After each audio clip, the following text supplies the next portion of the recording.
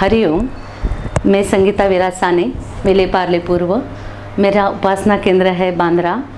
और आज मैं आपको जो अनुभव कथन करने जा रही हूँ, वो मेरे बेटी के बारे में है। मैं बापू परिवार में नाइनटीन नाइन्टी में आई।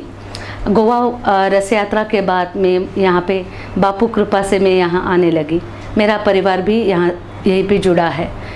हम जो आज अनुभव सुनने जा रहे हैं, वो अनुभव करते हुए जो हम परिवार को हम जो कुछ महसूस हुआ, वो अम्बदन्य और उसके आगे ही, ये क्या हम जी रहे हैं और कैसे बापू हमको उसमें से जो कुछ कठिन प्रसंग आते हैं, वहाँ से उठाते हैं, वो मैं कहना चाहती हूँ।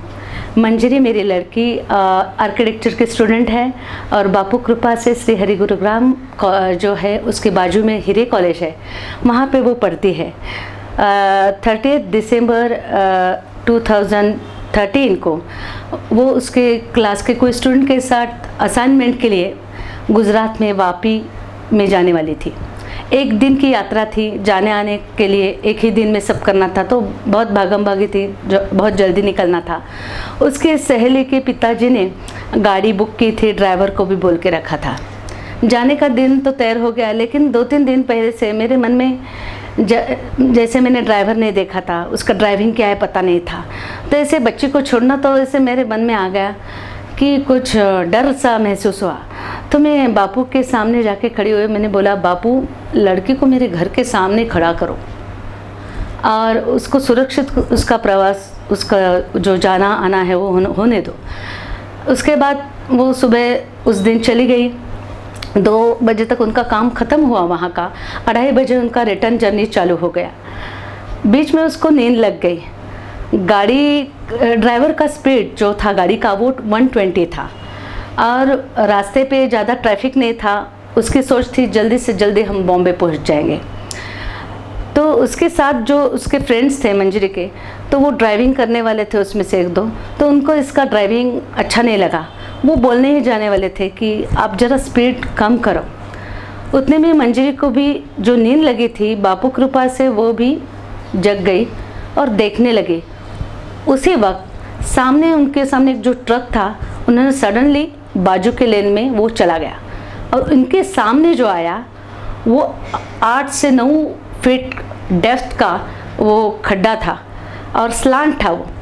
उसके ऊपर से बहुत वहाँ पे खड़ी, या बोलते पत्थर थे बहुत।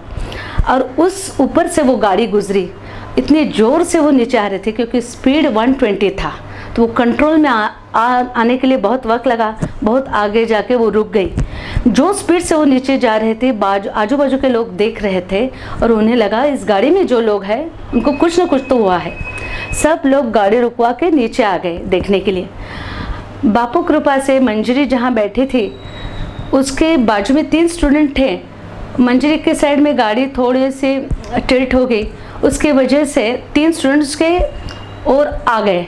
तो उसके पाव को थोड़ा सा जो राइट हैंड डोर था उसका हैंडल लग गया। कुछ जख्म वगैरह कुछ नहीं हुई थी। और फिर उन, उन्होंने बाहर आके देखा सब सीट टूट गई थी। कंडीशन गाड़ी की बहुत बेकार थी। बहुत लोगों ने बच्चों को ऑफ़र दी कि आप हमारे गाड़ी से चलो। लेकिन सुरक्षितता की दृष्टि से आ, सब लोगों ने डिसाइड किया गाड़ी चल रही है तो हम इसी गाड़ी से घर पहुँच जाएँगे। उस तरह उस वक्त सब लोग एक साथ बैठे उसी वक्त यकायक सबके घर से फ़ोन आ गया कि आप वापस से निकले कि नहीं, क्योंकि ज़्यादा रात मत करो। सब स्टूडेंट ने मैच्योरिटी ऐसी दिखाई उन्होंने कुछ भी हमें बताया नहीं कि क्या हो रहा है। उन्होंने बोला, हम आ रहे हैं। और हमारी जो, अगर ये हमें पहले पता चलता तो हम घबरा के और दो गाड़ियाँ निकाल के वहाँ देखने के लिए जाते। वो पॉसिबल भी नहीं था, लेकिन मेंटल कंडीशन हमारे सब लोगों के डिस्टर्ब हो जाते थे। लेकिन बापू कृपा से इन लोगों को सबको इतनी शक्ति दी कि उन्होंने सब हैंडल किया और उन्होंने बोला, हम बस निकल चुके हैं, हम पहुँच ही जाएँगे। और वो मेरे घर के सामने मेरी लड़की खड़ी हो गई। दरवाजे में ही बोली, माँ एक्सीडेंट हो गए मैंने उसको देखा।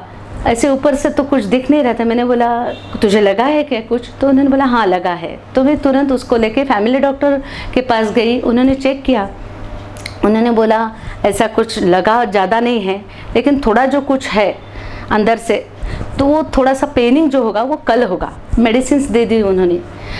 ये अनुभव की तीव्रता हमें जब महसूस जब उसकी बैग मैंने खोली तो उसमें आ, उसका कंपोस्ट कैमलिंग का जो रेगुलर कंपोस्ट बॉक्स रहता है वो निकाला। तो उतना वो फ्लैट और टेढ़ा मेढ़ा हो गया था। अब कैमलिन का कंपोस्ट बॉक्स जो मेटल का है तो उसकी ये हालत थी। लेकिन हमारे बच्चे तो सही थे। ये बोल ये कहते हुए मुझे उस वक्त की वो तीव्रता थी। वो ये बॉक्स के ऊपर से मुझे महसूस हुई कि एक्सीडेंट कितना गहरा था और उसमें जो इंस्ट्रूमेंट रखे थे प्लास्टिक के थे सेट स्क्वायर वगैरह सब टूट गए थे। ये घटना के बाद, उसके पहले जो कि कुछ दिनों पहले ही, महीनों पहले ही एक ऐसी घटना उसके ही बारे में मंजरी के ही बारे में घटी थी। वो अपने फ्रेंड के घर से बाहर निकली और रोड पर आई।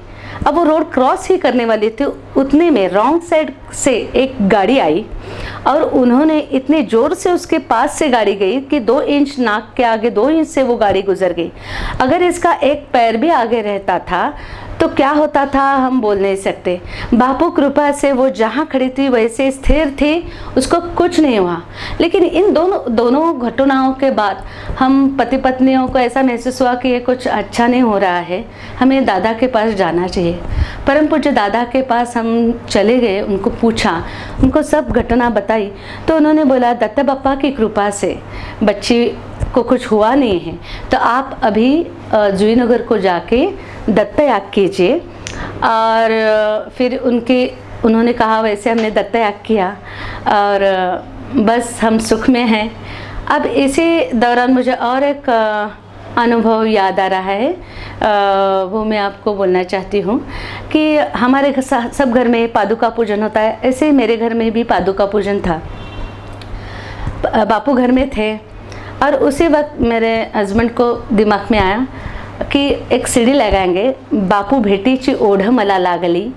माझ्या जीवाची घालमेल झाली. इसका मतलब है जब बापू अपने सामने नहीं रहता है फ़ोटो के रूप से या चरण कमल के रूप से उनके तो जो अपने अंदर जो महसूस होता है वो उस गाने में है। जब नहीं है बापू सामने तो अगर आप दूर है तो जो महसूस होता है कि कैसे हम मिले बापू को वो जो लगता है अंदर वो सब आ, कहना जो है वो ये गीत में है। तो हमें मालूम था हमने सीढ़ी तो रखी है जहाँ सीढ़ी की जगह है, हम ढूंढ रहे थे, लेकिन बिल्कुल सीढ़ी मिल नहीं रही थी। आधा घंटा इसमें ही चला गया। उसके बाद हमें रियलाइज़ हुआ, हम इतने पागल हैं, सामने मेरा बापू बैठा है और हम बोल रहे हैं, बापू को मिलने के लिए मेरी आस लगी है, ये गाना लगाना चाहते थे। अब बापू क्या करेंगे? बापू तो सिखाएँगे, अरे मैं सामने हूँ तो क्या लगा रहा है? और फिर हमारे दिमाग में जब ये बात आई तो हमने वो सीढ़ी लगाने का जो प्रयास था, वो छोड़ दिया। अच्छे से हमने शांति से हमारा पादुका पूजन हो गया और बाद में दो चार दिन के बाद हमें सीढ़ी मिल गई। हरिओम श्री राम, अम्बत्या।